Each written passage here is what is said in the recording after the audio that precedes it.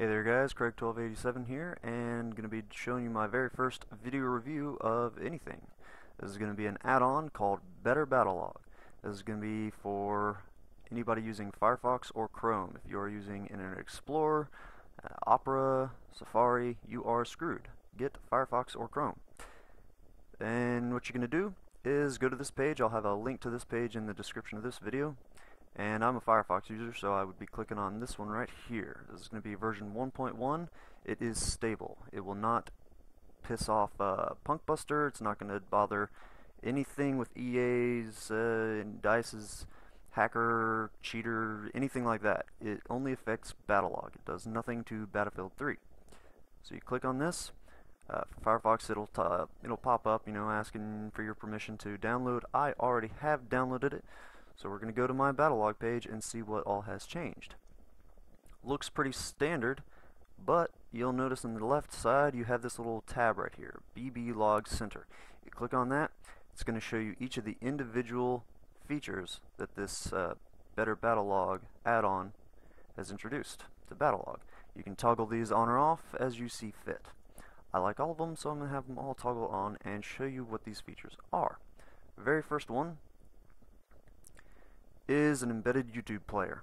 Normally, when you're looking at this, you would just see a HTML little web address like that, but with this add-on, it embeds any of the YouTube links. So you would just be able to click on this and watch it directly in Battlelog. That one is not too too great, but it's it's it's you know it's a start. It makes Battlelog better. Old stepping up our game here. We go to the Weapons tab, go to any individual weapon in the game that is shown through Battlelog, and it's going to give you some more detailed stats. I'm sure a lot of you guys have seen this stuff before, showing the damage, its drop off after a certain range, shows accuracy at certain ranges.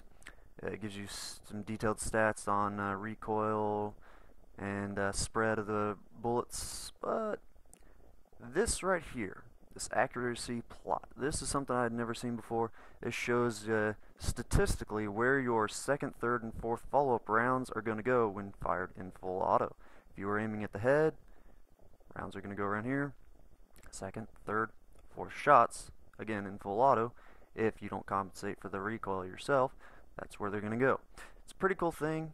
It is handy, I would say. Um, I can see DICE uh, stealing some of these ideas and, and implementing it in their next uh, Battlelog or somewhere down the line Battlelog update. Uh, another thing is it just uh, kind of changes where this will be, switch to another weapon. You don't have to go back to the previous page or tab, and you can click on the weapons here. But more importantly is this little sights video. A lot of people wonder what the difference is in the sights. The reflex uh, its its you know counterpart is going to be the Cobra. Uh, some people don't know the difference between them in game. They just don't uh, associate with the Cobra or the Reflex. So you, these little videos, we're going to show you what they look like. A lot of people don't know the difference between the two 3.4 times zooms. This is the American version. I'm showing you in this uh, little video. It doesn't lag. Loads up pretty quick. It's pretty smooth. Looks nice. Here's the uh, Russian counterpart. You can have any of these playing at the same time. They load up quick, they don't lag. The only thing is they, you know, lack any features of pause, play, anything like that. You can't up the resolution. But if you wanted to, I guess you could kind of have one playing and zoom in a bit. But that's just too much effort. Not going to do that. So, that's the weapons tab. It shows uh, just a little bit more detail. Again, you can find this information elsewhere, but it's nice to have this all in one place. Now, probably the biggest, most advantageous uh, feature in this add-on is within the server browser. You can come to any of these servers. Let's find one that's got a lot of players. Alright, here's the player list. Let's say I know that this guy is a hacker or he uses, you know, tactics that I don't really approve of. Any reason you might not like this guy. He's got a stupid name or something. This add-on allows you to right-click on certain things that normally couldn't be right-clicked. And you have this thing called Radar List. This is your list only. If I add him to my radar list, it will not be shown up on anybody else's radar list, just mine. And what this radar list is, is you, you know, add that to it, and he's going to have a little radar icon that shows up next to his name whenever I see him in servers. Uh, if I see him in the server, I know not to join it.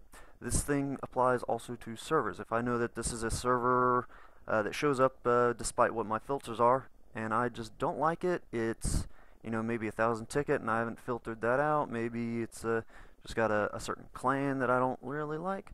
Anything, any reason at all that you might not want to join a server, again, right click, and you can add that server to your radar list. So you can, uh, you know, this is a pretty cool thing to help uh, add an extra level of not dealing with hackers, cheaters, glitch people, uh, MAV elevator things that you know it's going to get patched out soon. But still, people that use tactics that you don't approve of, just add them to your radar list. Pretty cool name, I guess, kind of. So yeah, that's this uh, feature. Better Battlelog. Again, link is in the description. Uh, like and comment. Uh, and if you wouldn't mind, a subscription would be pretty darn cool. Thanks, guys. Have a wonderful day.